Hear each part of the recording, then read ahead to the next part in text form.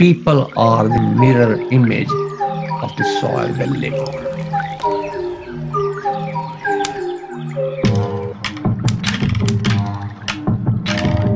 We have about eight years to make a really massive fundamental change, which will determine whether we go extinct or we don't go extinct. Nature works. Composting, that's how nature works. In only six to eight weeks, we can turn raw materials into microbially rich climate compost, teeming with life. We have the power to choose to treat the soil right. We have the power to lock carbon into the ground. Soil health is our most powerful tool in securing a sustainable future for this planet.